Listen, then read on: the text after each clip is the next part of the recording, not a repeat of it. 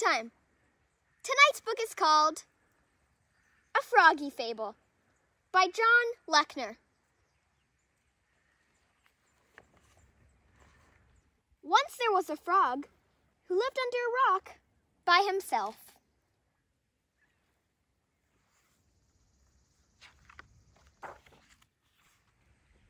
Every day, he did the same thing.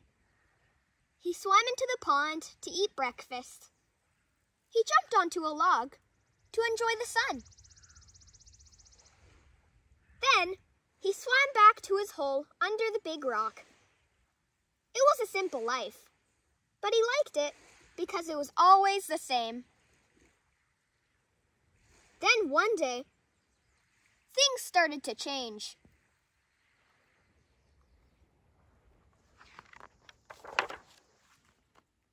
A family of otters moved into the pond and started splashing around. Hey, said the frog. I don't like those otters splashing in my pond. A flock of blue jays moved into the trees overhead, and they squawked all the time. Hey, I don't like those birds making noise, the frog said.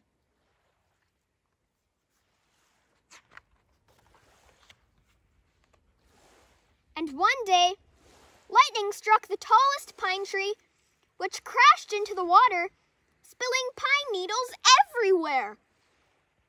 Hey, I don't like that tree in my pond, said the frog. But there was nothing he could do about it.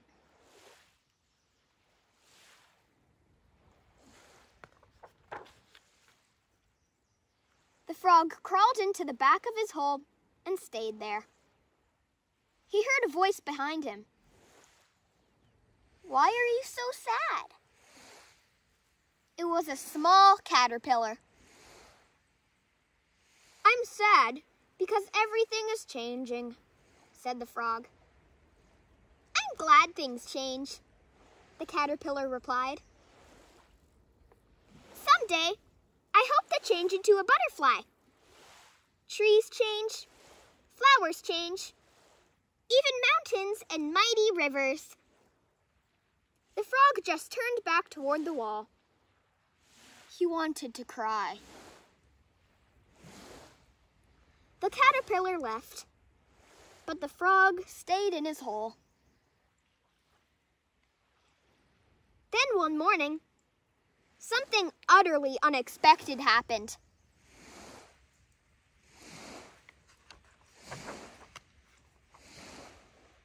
The rock over the frog's hole was lifted into the air. To the poor frog's bewilderment, a jar came down on top of him, and he was whisked away in the hands of a young boy. Needless to say, nothing like this had ever happened to the frog before. The terrified frog was jostled and bumped on the boy's bike. They traveled for a long time when suddenly the bike hit a rock.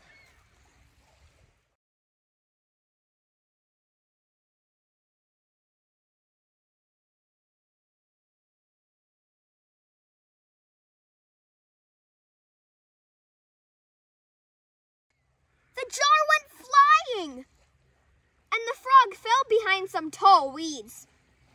He sat very still until it was safe.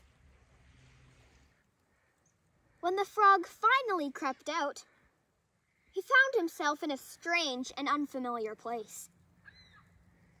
He was lost.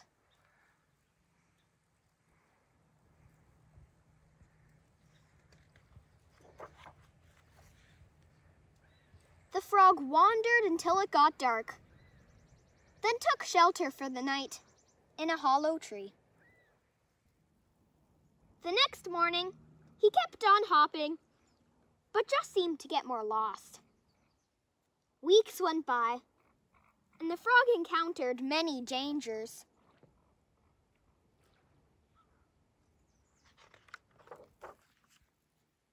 And many wonders.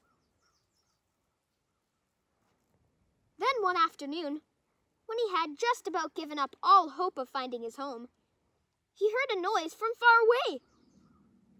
A familiar noise. He raced through the forest toward the sound. As he got closer, he heard splashing.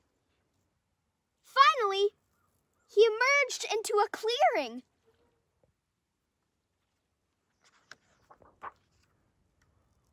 And saw a beautiful pond. His pond! Happy to see the blue jays flapping overhead. He was so happy to see the otter splashing in the water. He was even happy to see the fallen tree, right where he'd left it.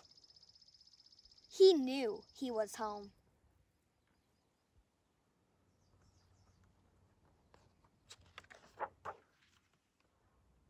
True, his old rock had been torn away, but he found a perfect spot to dig another hole with an even better view.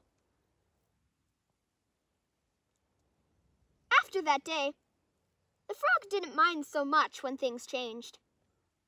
He could handle anything. He even tried something new once in a while.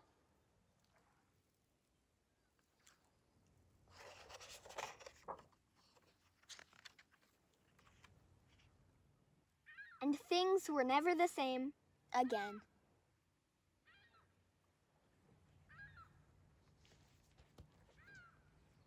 Good night, everyone.